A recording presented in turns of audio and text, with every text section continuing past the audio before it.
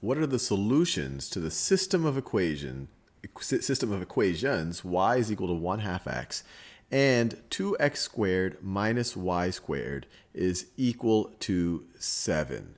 And they say solutions because this could these two if we view them as two line or two curves, they could very well intersect with each other twice.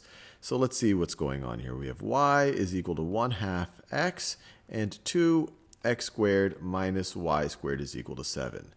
And the best way to approach these is to just try to sub substitute one constraint into the other constraint, or substitute one equation into the other one.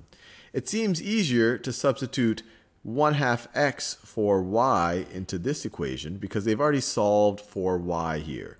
Here it's much harder to solve for x or y. So let's do that. Every place we see a y here, let's substitute it with this that y must also be equal to 1 half x and then see if we can solve for x.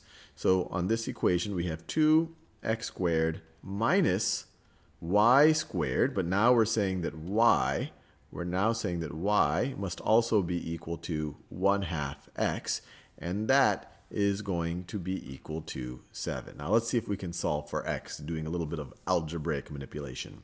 So we get 2x squared minus, so 1 half squared is 1 fourth, and then x squared. So we could say x squared over, let me write that as 1 fourth. So let's say it's 1 fourth, 1 fourth x squared is equal to 7.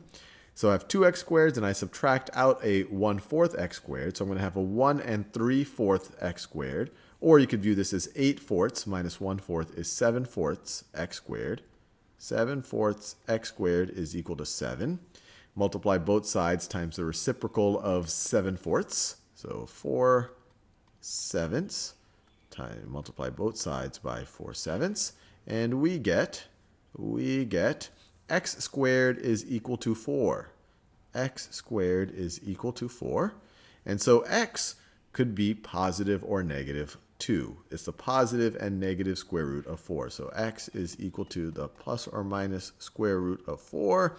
x is equal to positive 2, positive 2, or negative 2. Now, given that x is positive 2 or negative 2, let's substitute back into either of these equations to figure out what y is, what the corresponding y is for each of these. So if x is 2, y is going to be 1 half of that. It's going to be 1. So we have the point 2 comma 1. All I did is say, look, x is 2, 1 half times 2 is 1.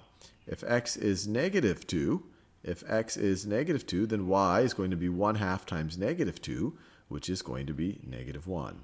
And you can, both of these definitely satisfy this first constraint, and you can verify that they also satisfy this second constraint right over here. 2 times 2 squared is, well, 2 squared is 4. 2 times that is 8, minus 1 squared is 7. 2 times negative 2 squared is still, this whole thing is going to be 8, minus negative 1 squared still equals 7. So the solutions to the system of equation, one is the coordinate 2 comma 1, x is 2, y is 1. The other is the coordinate negative 2, negative 1. x is negative 2, and y is negative 1.